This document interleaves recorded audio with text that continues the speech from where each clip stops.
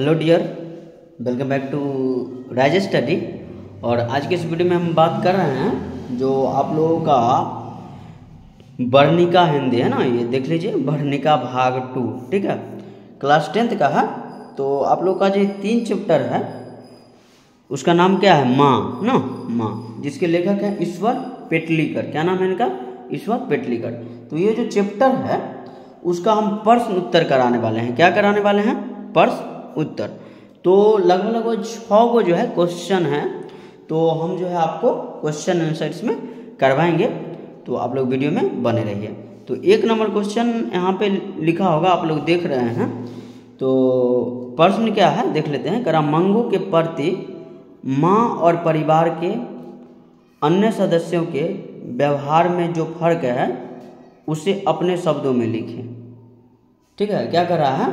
मंगू के प्रति माँ और परिवार के अन्य सदस्यों के व्यवहार में जो फ़र्क है, उसे अपने शब्दों में लिखे, सीधा है। तो देख लेते हैं। इसका आंसर, मंगू जन्म से ही पागल और मुख थी। मंगू जो हुआ, जन्म से पागल और मुख, यानी कि बधिर एक तरह से हम कह सकते हैं, बोलती उलती नहीं है और पागल भी थी। फिर भी मंगू के प्रति माँ का व्यवहार बहुत ही बढ़िया था। फिर भी अगर बात करें तो मंगू के प्रति माँ का व्यवहार जो है बहुत बढ़िया था।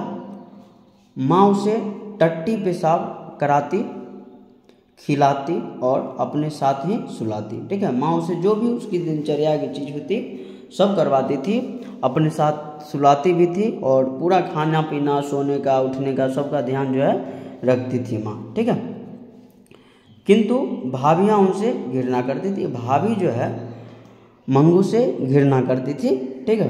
बहन कहती थी कि माँ का लाड़ प्यार उसे अधिक पागल बना दिया है। जो मंगू की सिस्टर थी वो कह रही थी कि जो माँ का ही लाड़ प्यार के कारण जो है माँ के ही लाड़ प्यार के कारण जो है मंगू जो है पागल हो गई है। ठीक है। भाइयों का व्यवहार भी मंगू के प्रति प्यारयुक्त नहीं था। वैसे भाई का व्यवहार जो उतना ज़्यादा दिखाया नहीं गया है कहानी में लेकिन जो भी दिया है उसके हिसाब से हम कह सकते हैं कि भाइयों का व्यवहार भी जो है मंगू के प्रति प्यारयुक्त नहीं था। कंप्लीट है? तो ये था आप लोगों का एक नंबर का आंसर तो इसका स्क्रीनशॉट ले लीजिए। आगे हम दो नंबर जो है आपको बता रहे हैं। तो चलिए, दो नंबर हम इधर ले लिए हैं क्वेश्चन देखिए छोटा छोटा आंसर जो है हम लिखे हैं। आप लोग वीडियो में बने रहिए। और परीक्षा की दृष्टि से जो है यहाँ से क्वेश्चन जो है बहुत बनता है। तो आप लोग वीडियो को पूरा देखिए। आंसर को अपना कॉपी में नोट करके याद भी करिए। ठीक है? प्रश्न संख्या दो क्या कर रहा है? सो देख लेते हैं। करा माँ, मंगू को अस्पताल में क्यों नहीं भर्ती कराना चाहती थी? वो चाहती विचार करें। ठीक है? यानी कि यहाँ पे कुछ छूटा है। है होगा या फिर थी होगा, आप लोग किताब में से मिला लीजिएगा। माँ, जो है मंगू के अस्पताल में क्यों नहीं भर्ती कराना चाहती थी? इस पर विचार करना है। सिंपल बात है। माँ समझती थी कि मैं माँ होकर इसकी सेवा नहीं कर सकती तो अस्पताल वालों की क्या पड़ी? ठीक है। माँ सीधा सीधा सोचती थी बुआ ये जो माँ का मानना ये था कि अगर हम माँ हो कर के ठीक है, जब मंगू की सेवा नहीं कर सकते हैं, मंगू की देखभाल नहीं कर सकते हैं तो अस्पताल वाला की की ज़रूरी है? ठीक है। वहाँ उसे कौन प्यार से खिलाएगा? उसका गीला गीला बिछौना कौन बदलेगा और कौन उसे अपने साथ सुलाएगा? माँ को एक बात हमेशा सताते रहता था और इसलिए भी मंगू को अस्पताल में नहीं भर्ती कराती थी। जो वहाँ पर उसका गीला बिछौना जो है, कौन बदलेगा? उसको समय समय पर जो है, उसका वो जो पेशाब करती है, टट्टी करती है, ठीक है? तो वो सब जो है, ठीक है, उसको कौन साफ़ करेगा? बिछावन उसका कौन साफ़ करेगा? उसको अपना साथ कौन सुलाएगा? ठीक है? यही सब बातों को सोचकर माँ मंगू को अस्पताल में नहीं भेजती और यही सब बात के कारण जो है माँ जो है मंगू को अस्पताल में नहीं भेजती है। तो ये था आप लोग का दो नंबर का आंसर तो इसका भी स्क्रीन आप लोग ले लीजिए। आगे हम तीन नंबर जो है बताएँगे। तो तीन नंबर देख लेते हैं। तीन नंबर क्या कह रहा है? तीन नंबर जो कह रहा बुआ, कह रहा कुसुम के पागलपन में सुधार देख मंगू के प्रति माँ, परिवार और समाज की प्रतिक्रिया को प्रतिक्रिया को अपने शब्दों में लिखे। यानी कि कुसुम क्या हो जाता है? बुआ कुसुम पागल हो गई थी और जब कुसुम जो है, एक तरह से ठीक हो जाती है पागल खाना में जाके तो वहाँ से जो लौटती है तो माँ का परिवार का और समाज की प्रतिक्रिया क्या रहता है? उसको दिखाना है। चले, देख लेते हैं। कुसुम जब ठीक होकर आई, तब सारा गाँव से देखने उमड़ पड़ा। ठीक है, कुसुम जब ठीक होकर के अस्पताल से आई तो उसको देखने के लिए जो है पूरा गाँव जो है उमड़ पड़ा और सबसे आगे माँ जी थी। सबसे आगे कौन था? माँ जी थी। कुसुम को ठीक ठाक देख माँ जी को हर व्यक्ति सलाह देने लगा। माँ जी, आप एक बार मांगू को अस्पताल में भर्ती करके तो देखें ठीक है? जब कुसुम ठीक ठाक हो गया ना तो माँ जी को जो है हर एक व्यक्ति जो है सलाह देने लगा जी, माँ जी, कम से कम आप जो है एक बार जो है मंगू को अस्पताल में भर्ती करा के देखिए, ठीक है? वह ज़रूर अच्छी हो जाएगी। ठीक है? सबका रहता है कि एक बार भर्ती करवा के देखिए ज़रूर जो है अच्छी हो जाएगी। कुसुम से घर पर बात होने के बाद माँ का अस्पताल में, अस्पताल के प्रति जो घृणित गांठ पड़ गई थी, वह खुल गई। ठीक है? कुसुम को जो है, माँ जो है एक दिन घर पर बुलाती है और अस्पताल के बारे में पूरी बात जो है पूछती है। तो जो भी घृणा था, जो घृणित भाव था, जो भी दुविधा था माँ के मन में, सब कुसुम से सुनने के बाद जो है ख़त्म हो गया। ठीक है? और यह भी एक बार सोचकर कि ठीक नहीं होगी तो घर लौटा लिया जाएगा। ठीक है? और माँ जो है, अंततः जो है कुसुम के बात को जो है गौर से सुनती है और निर्णय करती है कि कुसुम को जो है, ओ सॉरी, मंगू को जो है अस्पताल में भर्ती करवाया जाएगा। ठीक है? अगर ठीक नहीं होगी तो घर लौट जाएँगे उसको लेकर के। ठीक है? तो ये था आप लोगों का तीन नंबर का आंसर। तो इसका भी स्क्रीन आप ले सकते हैं। हम बहुत छोटा छोटा आंसर जो है लिखे हैं ताकि आप लोगों को जल्दी जो है याद हो जाए। चलिए चार नंबर हम देखते हैं। तो चार नंबर जो है बुआ, चार नंबर क्या कर रहा है? कह रहा है, कहानी के शीर्षक की सार्थकता पर विचार करें। ठीक है, यानी कि कहानी जो माँ कहानी है तो माँ कहानी के शीर्षक जो है सार्थक है कि नहीं उसमें विचार करना है तो देख लेते हैं। कर इस कहानी का शीर्षक माँ है। कहानी का शीर्षक क्या हुआ माँ है। पूरे कहानी में माँ की प्रधानता है। पूरे कहानी में किसकी प्रधानता है? माँ की प्रधानता है। माँ की प्रधानता है।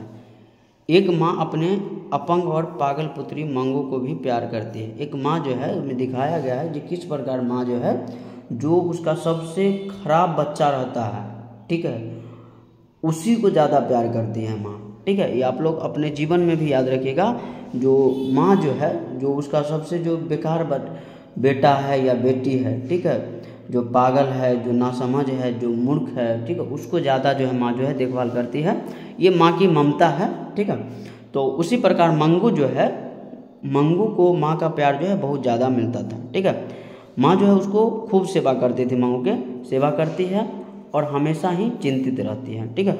मंगू को सेवा तो करती है, लेकिन मंगू के प्रति जो है माँ जो है बहुत ज़्यादा चिंतित भी रहती है, हमेशा चिंतित रहती है।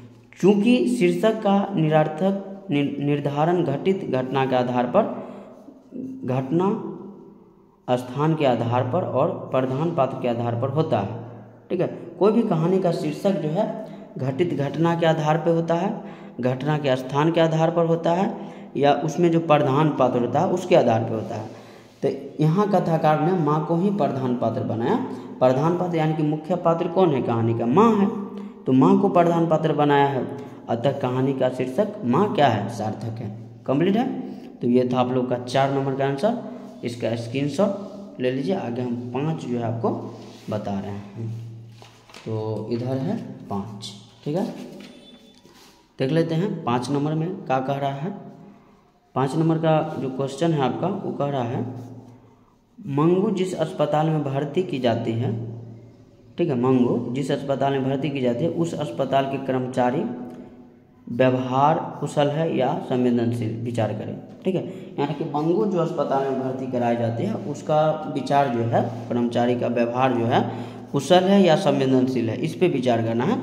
तो देखिए, देखते हैं। मंगू जिस अस्पताल में भर्ती की जाती है, की जाती है, उस अस्पताल के कर्मचारी का व्यवहार कुशल है। क्या है? कुशल है। रोगी के अभिभावक के साथ कैसे पेश आना चाहिए और रोगी के साथ कैसा व्यवहार करना चाहिए, इसे भी अच्छी तरह समझते हैं, ठीक है? यानी कि जो भी कर्मचारी हैं अस्पताल में, ठीक है, उनको बहुत अच्छी तरह से पता है जो रोगी के रोगी के साथ कैसे पेश आना है और रोगी के जो अभिभावक हैं, ठीक है, उनके साथ कैसे पेश आना है, ठीक है? बहुत बढ़िया उनसे जो है उनको पता है, ठीक है? और व्यवहार में लाते हैं। पति के सामने परिचारिका ने पगली स्त्री के के साथ बड़ा सौम्य व्यवहार किया।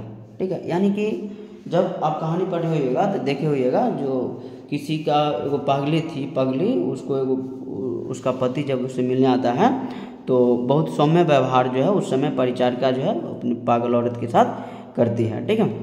तो सामान्य लोग क्रुद्ध हो जाते जैसा व्यवहार उस समय की, ठीक है, परिचारिका के साथ जो पागल औरत की तो सामान्य लोग क्रोध हो जाता। ठीक है, आप लोग रहते तो झोटा उटा पकड़ के बड मार मारते। लेकिन परिचारिका जो है परिचारिका क्या करती है? मतलब अपना जो है एकदम संवेदनशीलता दिखाती है। ठीक है, और क्रुद्ध नहीं होती है। सामान्य लोग क्या हो जाते? क्रुद्ध हो जाते।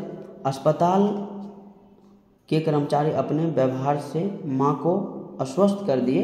अतः हुए व्यवहार कुशल है, ना कि संवेदनशील। अस्पताल के जो कर्मचारी थे, वो अपना स्वभाव से माँ को यह अस्वस्थ कर दिए जो आपकी जो पुत्री है हमारे पास, ठीक है, सुरक्षित रहेगी और आपके घर से बढ़िया जो हम इसको रखेंगे। तो ये था आपका पाँच का आंसर, ठीक है? इसका भी स्क्रीनशॉट आप लोग ले लीजिए। और बच जाएगा आपका छः। छः जो है वो हम इसलिए नहीं बनाए, उसमें सारांश है।